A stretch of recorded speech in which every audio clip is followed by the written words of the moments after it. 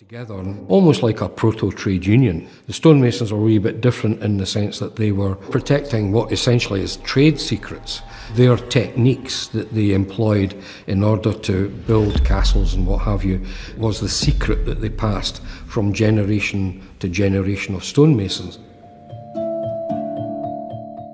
To identify themselves as skilled and proud stonemasons, they developed a greeting that has made them infamous the Masonic handshake. The handshakes are a way of identifying one to another, especially when they had to move around Scotland looking for work. If you went to a place where you weren't known, you had to have some kind of proof that you were able to build uh, and work on a, on a construction site. The period we're dealing with here in Scotland is a time when ritual has largely been taken out of the church. Without ritual, humans find it quite difficult to function. And many people will seek belonging by becoming part of a club, a society.